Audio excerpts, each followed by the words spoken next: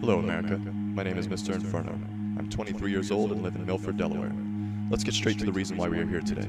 We are here to witness a man that claims to be the ultimate American ninja warrior.